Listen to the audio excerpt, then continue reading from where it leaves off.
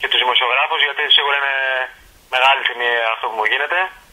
Ε, αυτό το βραβείο ε, δεν ανήκει μόνο σε μένα, ανήκει ε, σε όλη την ομάδα που όλη τη χρονιά είχαμε μια δύσκολη χρονιά και μεγάλη χρονιά και τελικά στο τέλος καταφέραμε να φτάσουμε στο στόχο μας και σίγουρα ε, αποτελεί, είναι μεγαλύτερο, μεγαλύτερο πράγμα για μένα αυτό που παίρνω το βραβείο γιατί σίγουρα κατάφερε να νικήσει και η ομάδα μου.